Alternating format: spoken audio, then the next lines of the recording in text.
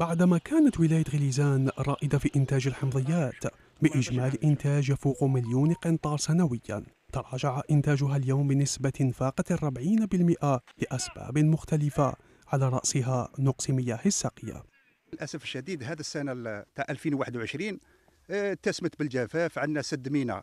آه، كما نقول لك آه، جف عن آخره سد قرقر.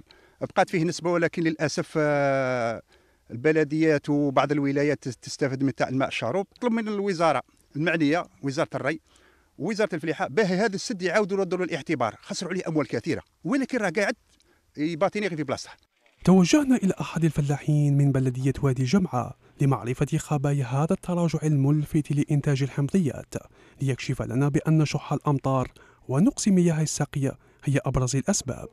مطالبا القائمين على هذه الشعبة بالتدخل خاصة فيما يخص منح تراخيص حفر الآبار التقليدية.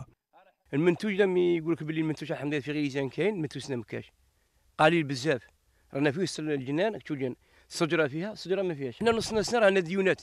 تروح للستاسيون تاع المازوت يقول لك أنا اني سال تروح لمول الدواء يقول لك اني سال مولا الانجليزي لا المنتوج ما باغي تخلص. من بعد يقول لك اودي السوق راه خاوي. السوق راه خاوي علاه السوق خوا سكو كان كاين المياه ووفروا لنا بين حفروا حسيان وكاع.